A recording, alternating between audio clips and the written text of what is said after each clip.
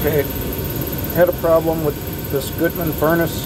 Um, the inducer motor was coming on, and the I wasn't getting anything with the igniter, so I came down. I, I wiggled this connection between the the wiring, and I got a little glow inside inside the plastic harness. Okay, I took it apart, found one of the pins was spread, so it was kind of arcing across the opening.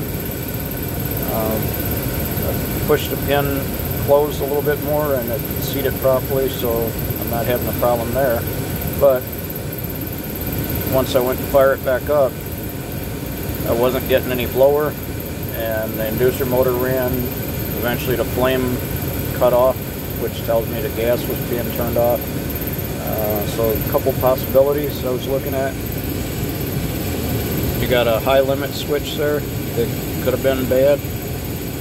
Um, you can jump across the two connections to test it. Um, if it still has a problem, then um, you have a rollout limit switch right here. That's a manual reset switch. Um, you just push that in because the temperature got hot enough that it tripped it. It said, you know, it's possible the flame came out too far from from the furnace and possibly cause a fire hazard, so it cuts off the gas to the furnace. Uh, also, the fuse on the circuit board could be bad. I checked the fuse, reseated it, no problem with the fuse. Didn't see any burn spots on the board or anything else out of place.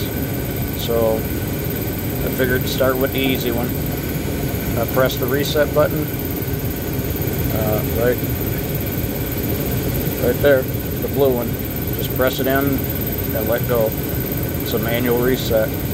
Put the cover back on. The inducer motor came back on. Once the switch was closed by the door being closed, uh, it heated up to operating temperature. Once it did, the uh, gas valve turned on, started putting the flame out, and shortly after that, the blower kicked on. So it's possible. You know, I checked the blower motor, and the blower motor was spinning freely, and previously it was working fine. So I didn't really think it was the blower, but it, you know, you got more than one direction you can go with this. But it turned out to be a simple fix. Just press the reset, put the door back on, let it go through its cycle, and the blower came on, the flame is staying on. And happy the house is going to stay warm. Uh, hopefully that helped you. I'm not a licensed furnace AV or AC and heating tech, so um, take this advice for what it's worth. Anything you do on a furnace, obviously you do at your own risk. Uh, I can't be responsible for whatever you do, but if this helps, hopefully it does, um, stay warm.